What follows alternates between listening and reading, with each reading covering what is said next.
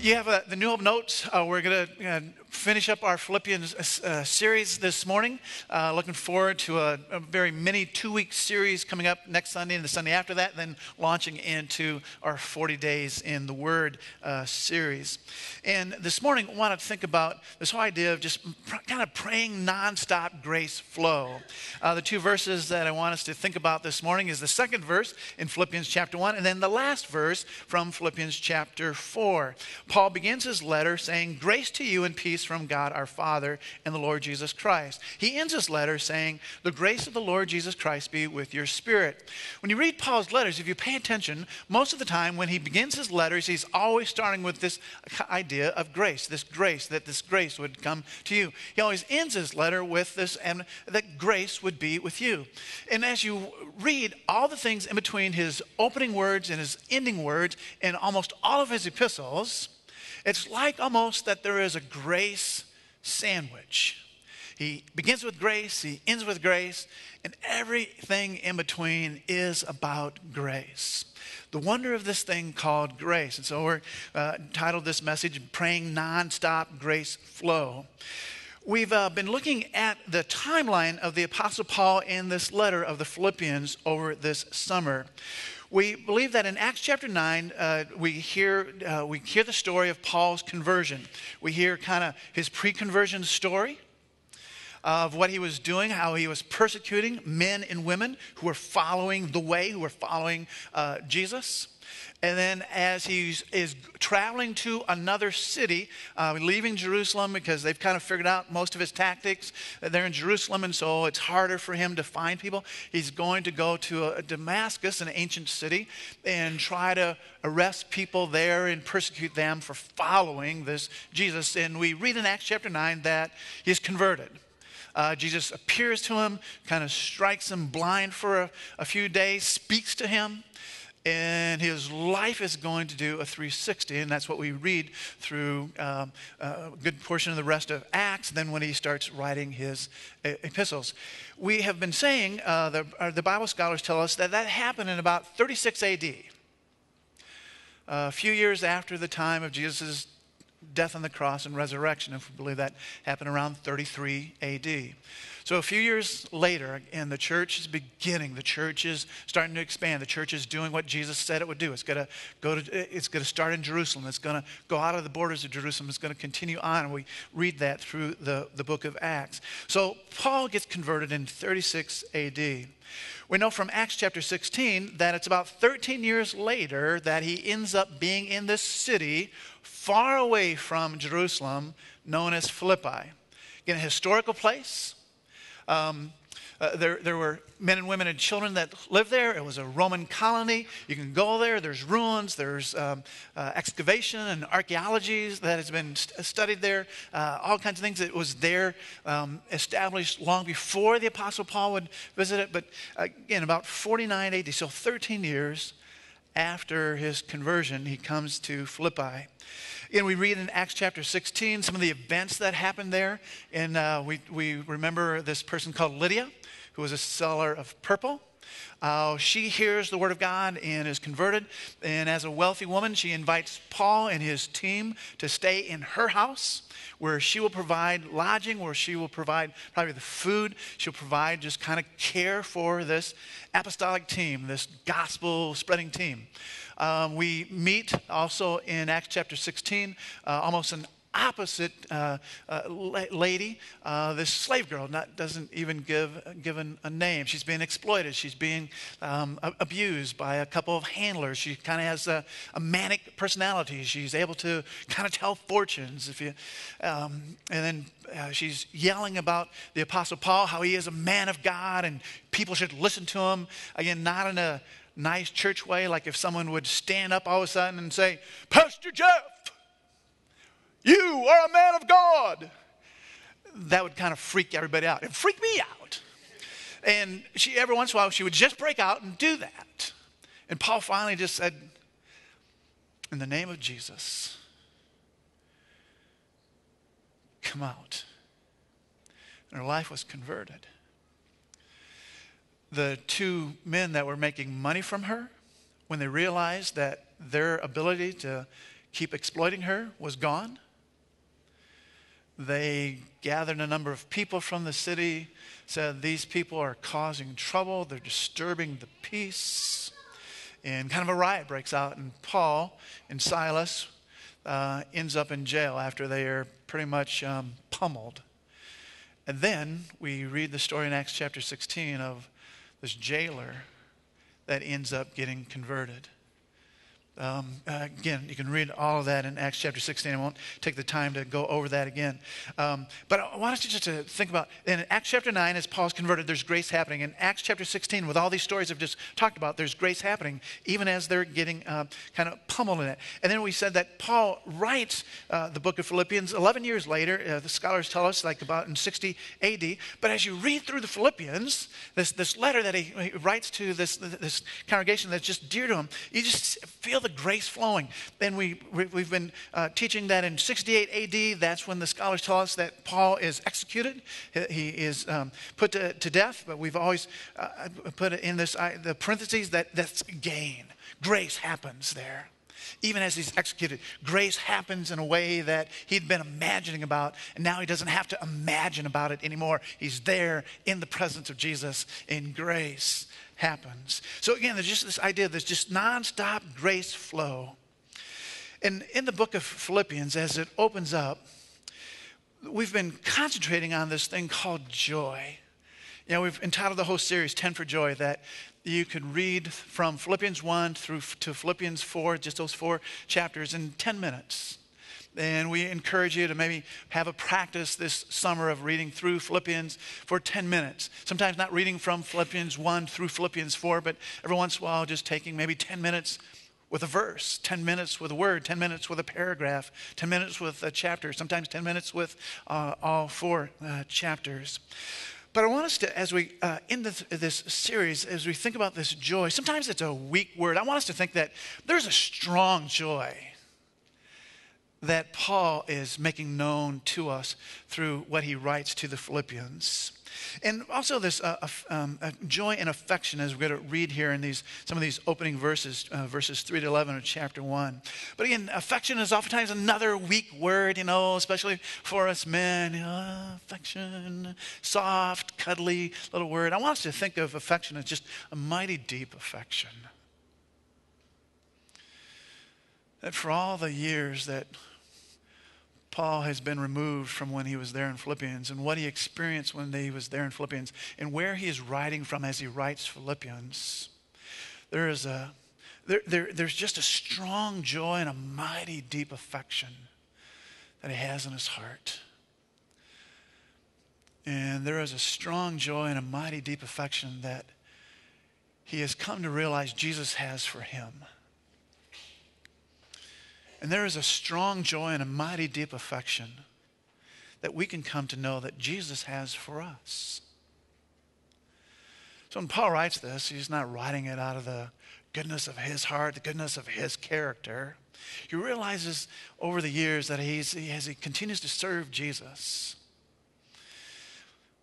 things flow out of him that aren't there by nature.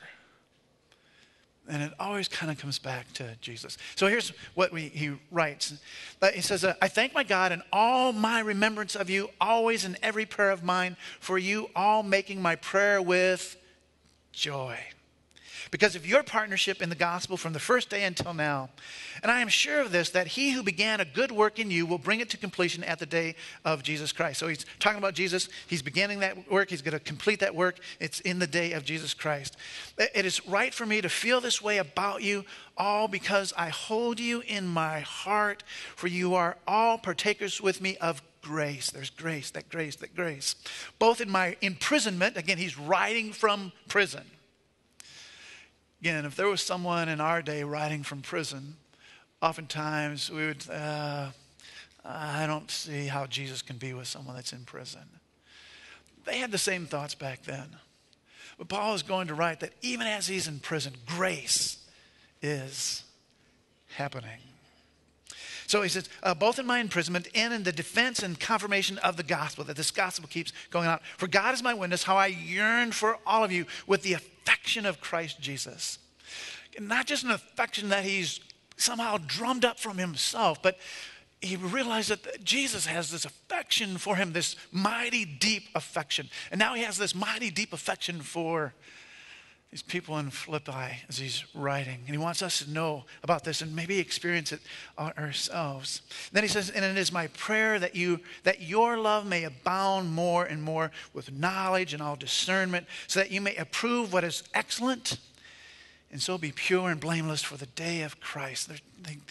he's uh, always refer, referencing back to Christ, back to Christ. There's not a verse that goes by that is really not Jesus is in that verse. Jesus is, is mentioned in that verse. The, the, the wonders of Jesus is in that verse, filled with the fruit of righteousness that comes through Jesus Christ to the glory and the praise of God. That's just the opening words.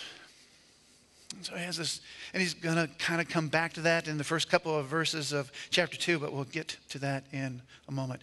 So, this strong joy and mighty deep affection, this can happen in you. It's going to happen in you. Imagine if you started realizing that Jesus, when he looks at you, there's a joy that's in him. That he has a mighty deep affection for you. That's why, for some of you, he's been pursuing you for years. And some of you know that when somehow a switch flipped in you and you stopped running away from Jesus, and somehow you started getting drawn into Jesus like for some of you, um, five years ago, what we experienced in the three opening songs, it was said, Ugh, man, yeah. But for some of you now, it's like, God. There was some joy and some affection that you experienced in those opening songs. That joy, that deep joy, that, that, that the strong joy, that, that, that this mighty deep affection it's not wimpy. It's not soft and it's not cuddly.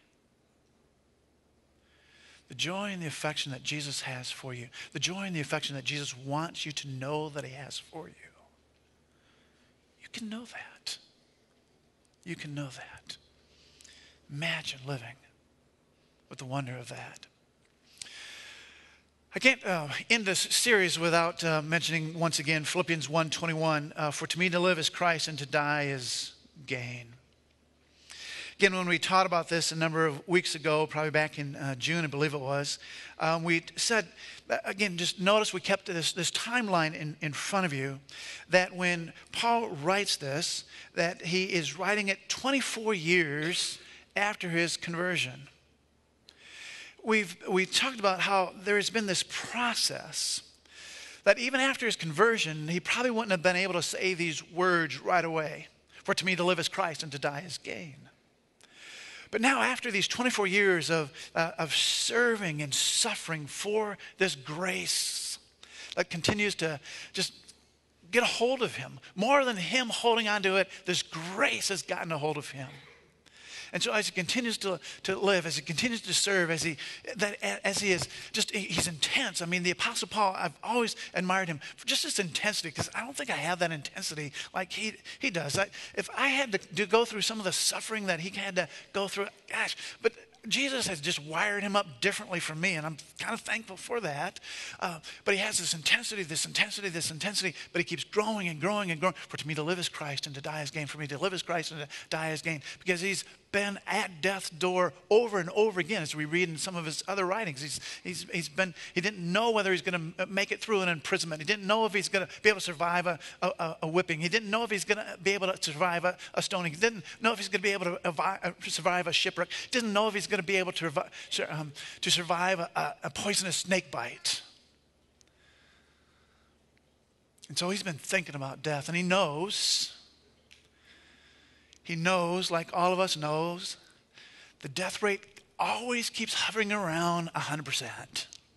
Always. And so he doesn't think as death as something morbid. For to me to live is Christ, and as long as I have breath, Christ. As long as I have breath, Christ. As long as I have breath, the, the grace of Christ. As long as I have breath. Someday, when I take that last breath, the gain that's going to be there. How true is this verse for you? Again, when we were considering this verse a number of weeks ago, and as maybe you've thought about it and read it over the last number of weeks and the number of months of June, July, and August, for to me to live is Christ and to die is gain. Again, that's a question I've been asking myself. How true is this verse for me? For to me to live is Christ and to die is gain. And the question is what if this verse starts to lean in on us just more and more and more? Because this verse is true. For to me to live is Christ. And Paul lived for Christ. And when he died, it was gained. That can be true for us too. For to me to live is Christ and to die is gain. How will that change us? How will that start to revolutionize some of our thinking, some of our processing, some of how we start looking at what happens in our culture?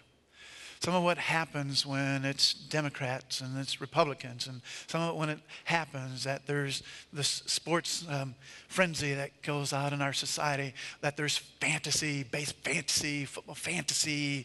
Then, and how would that start to, for to me to live as Christ? And one day, to die is going to be gain. What if this verse starts leaning in on us more and more? For to me to live is Christ. Now, um, I'll leave that there and go uh, pretty quickly through Philippians 2, verses 1 to 11. Again, tying back to what those opening verses in chapter 1. Here's what Paul writes as he's opening up kind of some new thoughts in Philippians 2.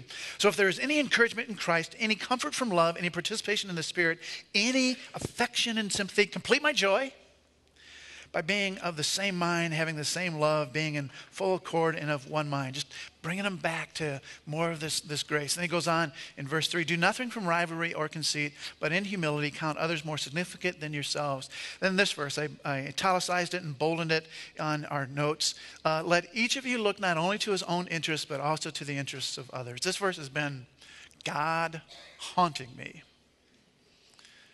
Look not only to your own interests, but to the interests of others.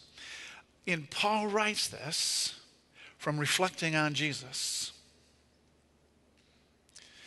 Jesus does not look to his own interests, as we're going to read in these following verses. If Jesus was looking to his own interests, he would have never left heaven.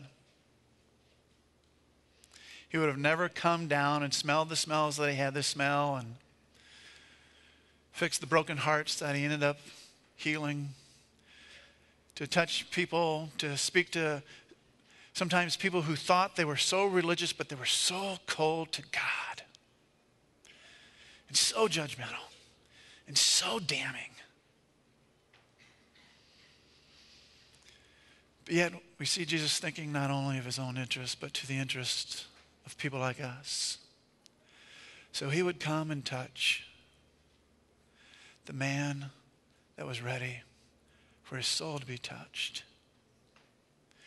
He would come and heal a woman who had been broken not just once,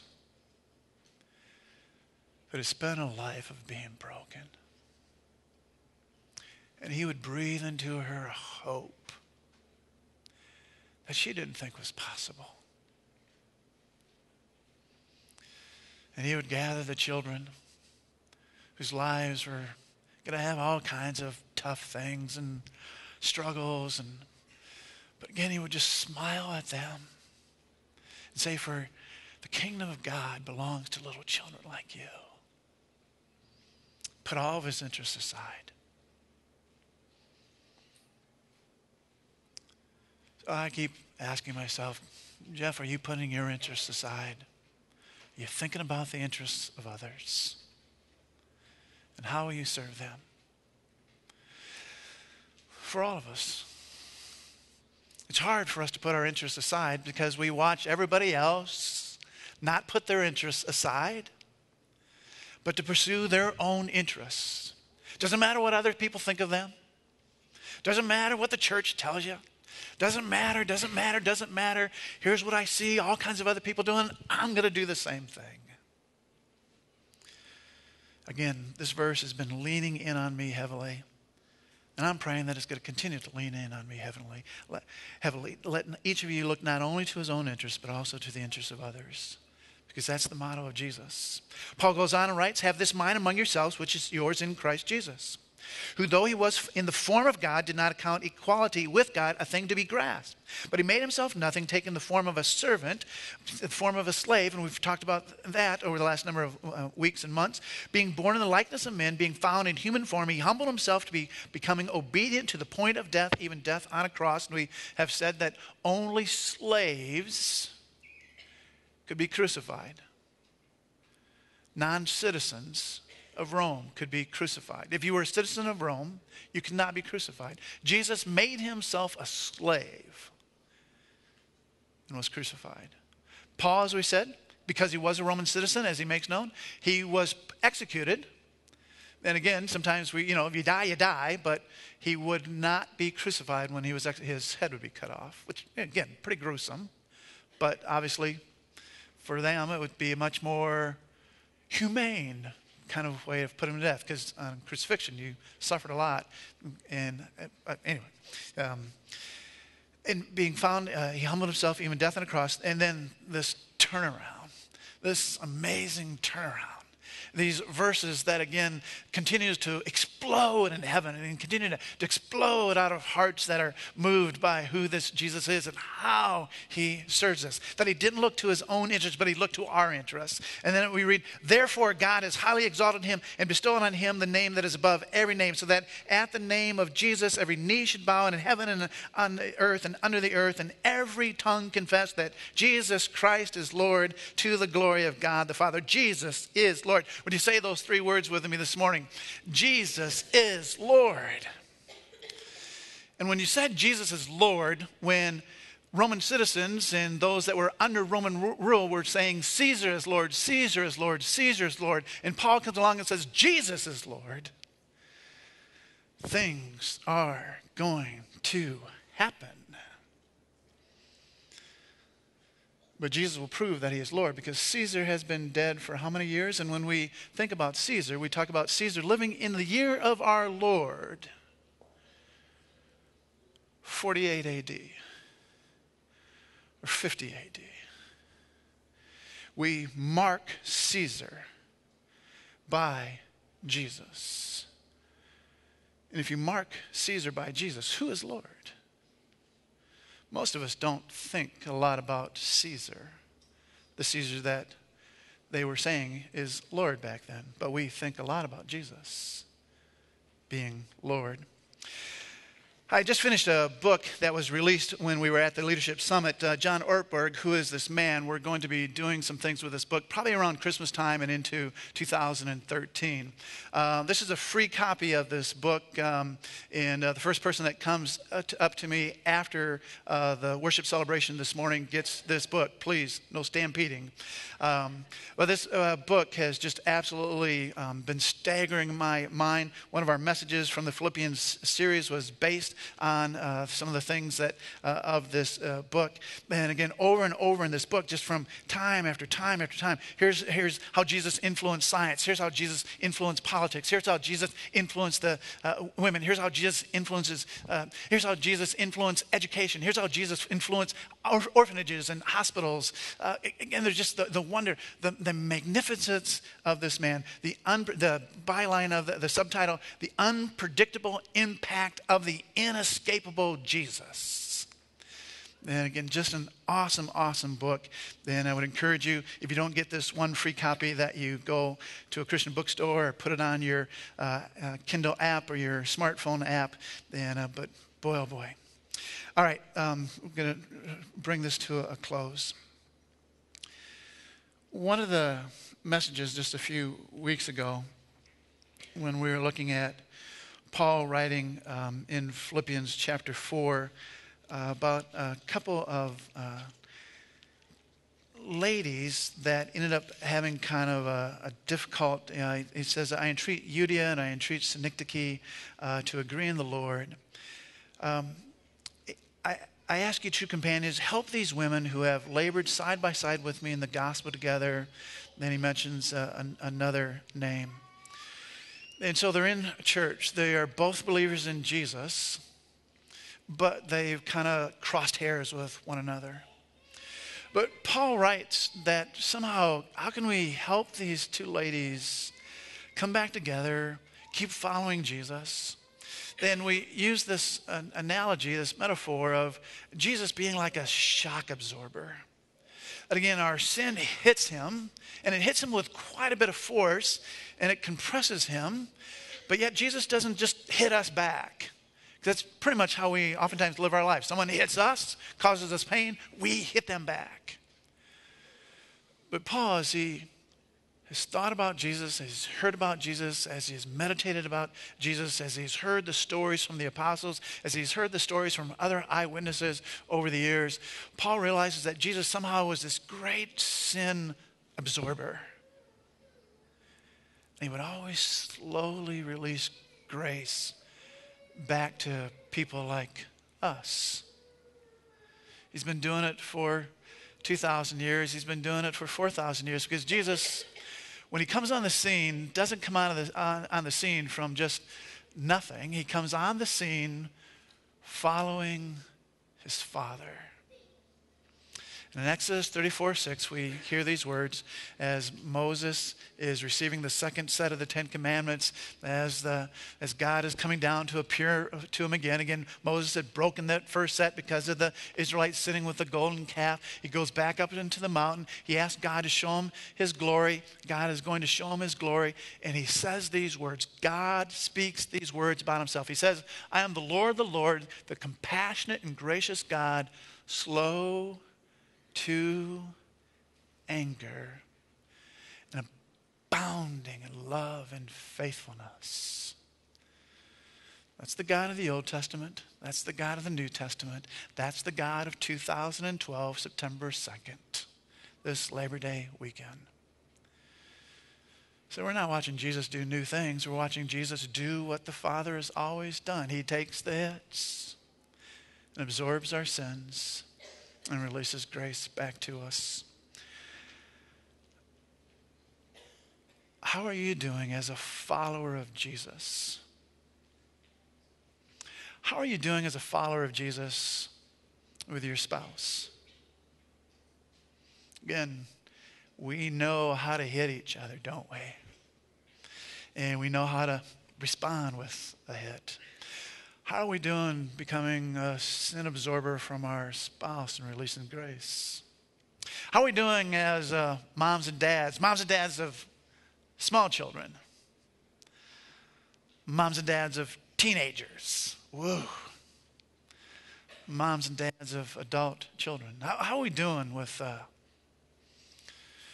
people at work? How are we doing with our boss? Or if we're a boss, how are we doing with our employees? Again, we live in a world that just, man, I just, uh, just hit and they hit and we hit back. And again, you know, I was watching some college football yesterday. Man, you know, just they hit, he hit, and we just we live surrounded by. But if we're to be followers of Jesus, how are you doing? And becoming a sin absorber and a grace releaser. Not in your name, but in Jesus' name. So Paul begins Grace to you and peace from God our Father and the Lord Jesus Christ. Grace. And he ends The grace of the Lord Jesus Christ be with your spirit. Grace. We've experienced a summer of grace. I believe we're going to experience a fall of grace in so many ways. I'm going to pray in a moment. Um, I'm going to, when I come back up at the end, I'm going to invite you to go through a, a prayer rock throughout our building, and we'll give you more instructions on that at the end. I won't tell you now because you'll forget in the next 10, 15 minutes. So I'll come back at the end and just kind of invite you. And again, you don't have to do this if you're not comfortable with it. But uh, for those of us who are here and are comfortable with just kind of maybe walking around and praying, we'll give you the instructions and what that's uh, about in a moment. So why don't we stand and pray, please?